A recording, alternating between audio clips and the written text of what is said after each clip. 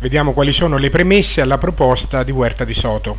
Lo Stato e il sistema bancario creano legalmente e illegittimamente fiumi di denaro fiat dal nulla attraverso i privilegi della manipolazione monetaria e del credito, cose rese possibili dal fatto che la legge con la L minuscola, la legge fiat, ha sostituito la legge con la L maiuscola.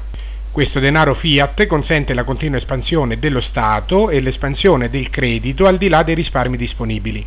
La continua espansione della macchina statale e quindi dell'interventismo e l'espansione artificiale del credito creano distorsioni nella struttura produttiva del sistema, sistema, economico e anche in quella psicologica delle persone, i cui effetti sono l'espropriazione della ricchezza privata e le crisi cicliche sempre maggiori seguite alla fine dal collasso.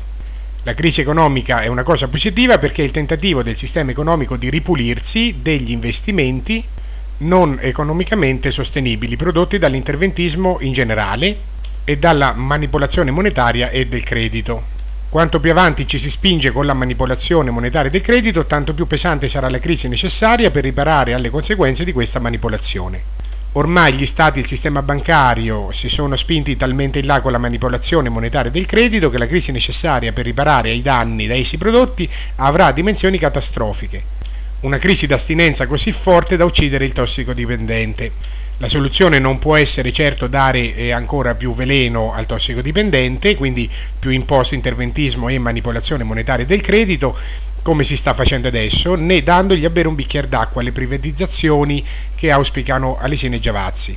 Huerta de Soto propone invece di ridurre il debito mediante l'abolizione della riserva frazionaria quindi agendo sulle banche che mediante questo privilegio hanno gradualmente espropriato la ricchezza del resto della società.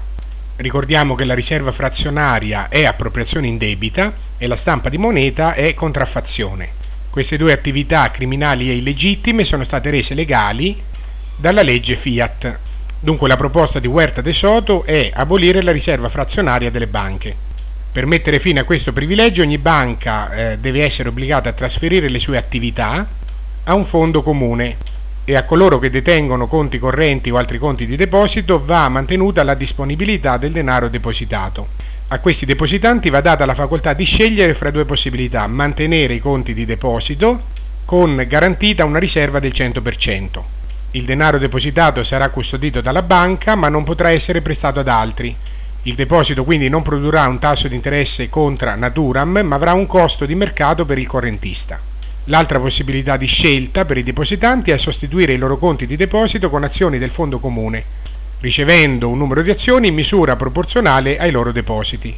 Di conseguenza il valore nominale di queste azioni non sarebbe garantito, potrebbe aumentare o diminuire e, per le loro esigenze di liquidità, coloro che scelgono questa seconda opzione potrebbero dover vendere parte di queste azioni ed eventualmente depositare la liquidità in conti di deposito. In questo modo verrebbe finalmente ristabilita la distinzione fra prestito, in cui uno perde la disponibilità dei propri fondi, e deposito, in cui uno la mantiene. Si prevede che per ogni banca una parte dei depositi sarebbe convertita in azioni del relativo fondo comune. Un'altra parte non sarebbe convertita. Per la parte non convertita rimarrebbe il problema della riserva del 100%. Per superare questo problema De Soto suggerisce che la banca centrale stampi la necessaria quantità di moneta fiat e la dia alle banche questa stampa di moneta non sarebbe inflattiva, in quanto l'unico scopo sarebbe quello di coprire i depositi ed equivalenti. Così il requisito di riserva del 100% potrebbe essere stabilito immediatamente e alle banche sarebbe impedito di generare ulteriori prestiti sulla base dei depositi.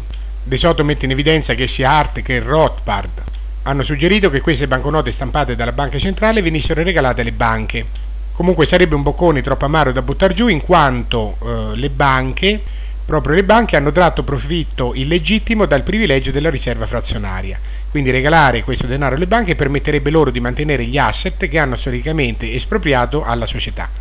Perciò De Soto suggerisce che questi asset o attività delle banche siano usati per altri scopi, primo fra tutti l'abbattimento del debito pubblico. I titoli del debito pubblico del Paese siano scambiati con le azioni dei fondi comuni, in cui sono confluiti gli asset delle banche, le azioni rimaste non allocate dopo la riforma i detentori dei titoli di Stato riceverebbero in cambio di questi un corrispondente ammontare di azioni dei fondi comuni in cui sarebbero confluiti gli asset del sistema bancario.